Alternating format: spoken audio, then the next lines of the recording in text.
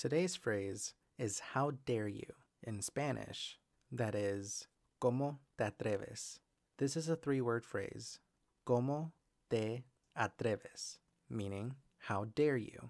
Again, the phrase is, ¿Cómo te atreves? How dare you? If you want to learn more Spanish, make sure to subscribe to this channel. We upload a new Spanish phrase every single day. And as always, we'll see you guys tomorrow. Bye.